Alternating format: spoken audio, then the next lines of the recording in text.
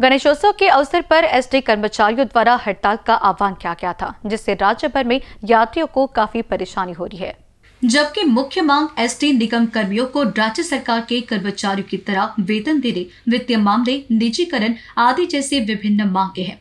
राज्य भर में कर्मचारियों ने विधानसभा की आचार संहिता लागू होने से पहले कानून को स्वीकार करने की मांग को लेकर विरोध प्रदर्शन शुरू कर दिया है।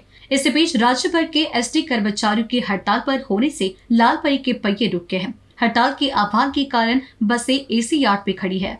पहिलेच म्हणणं आहे की आम्हाला प्रवाशांना वेठी धरायचं नाही आहे. प्रवासी आमचं दैवत आहे. आमचं हे संप नसून धर्म आंदोलन आहे. तरी सुद्धा कर्मचारी कामगिरीवर जायला तयार नाही. हे आपल्या स्वतःच्या मर्जीने इथे उभे आहे आणि बसेसवर कामगिरीवर जायला तयार नाही आज नागपूर बस स्टेशनवरून जवळपास बाराशे बसेस जातात. त्यापैकी बाहेरच्या बसेस बाहेर गावच्या काल रात्रीच आल्या होत्या. ते आमचे भाऊबंद येणारे त्यांना वेठीच धरू नये. ते आपल्या घरी जाऊ जावे म्हणून आम्ही त्यांना सोडत आहोत. परंतु संध्याकाळपर्यंत पूर्ण बसेस नागपूरच्या बंद होतील. कैमरा पर्सन राजकुमार मोहर के साथ क्षितिजा देशमुख की रिपोर्ट.